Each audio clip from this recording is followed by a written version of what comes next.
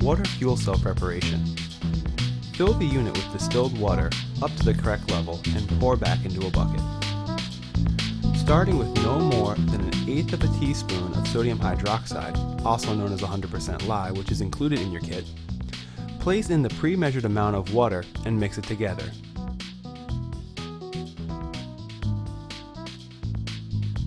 You will begin to notice that the water inside of the fuel cell is turning brown.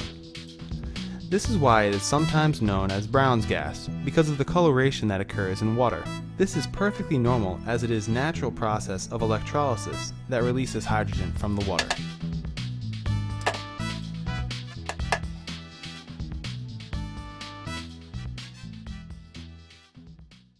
HHO generator installation.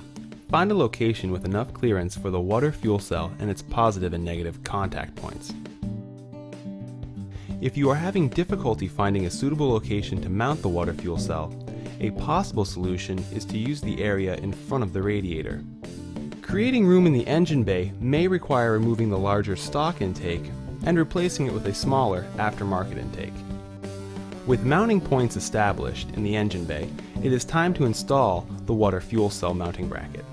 Unless usable holes exist in the mounting area, ones may need to be drilled large enough to fit the metal zip ties through. Once holes are drilled, loop the metal zip tie into one hole and out the other hole.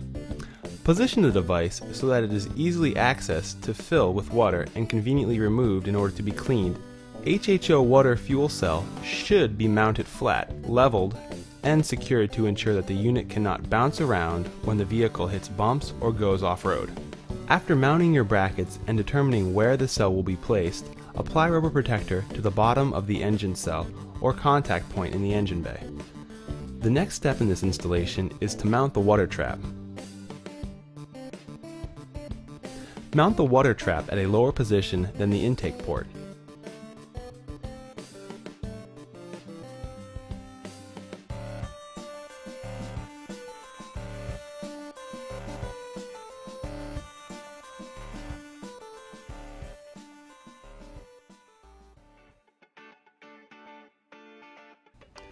The easy and best place to hook the vacuum line into is the PCV valve line.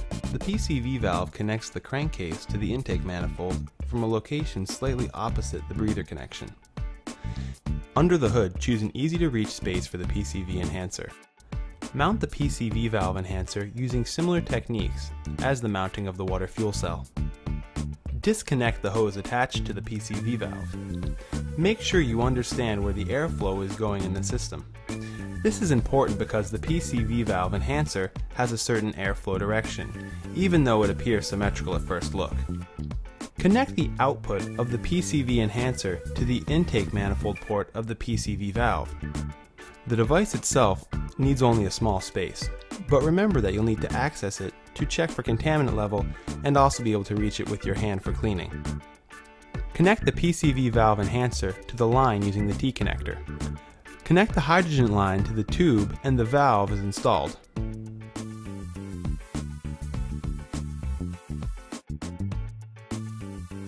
Next is the wiring of the positive and negative terminals on the water fuel cell. The first step is to find a good place to ground the negative terminal of the water fuel cell. The positive connection of the cell can be connected to any wire that has a 12 volt positive when running, like a wiper motor or other auxiliary device. This should be done on a line that is only live when the engine is on, and is on a 25 amp fuse. After finding your positive and negative connections, install the provided 15 amp fuse. Start the engine to test the amount of amps drawn by using the supplied voltmeter. While the system is running, take out the fuse and place the voltmeter needles into each side of the fuse connector to view how many amps it is used at starting. Amps will slowly rise while the system is on. Make sure that the cell isn't running any higher than 3 to 5 amps upon a cold start and leveling off at 11 to 14 amps when hot. The fuse is blown, then start at a lower amperage in your solution. Inspect the installation visually. Make sure all hoses are secured with clamps. Make sure the filter bowl, the transparent part, is hand tight only. And your install is complete.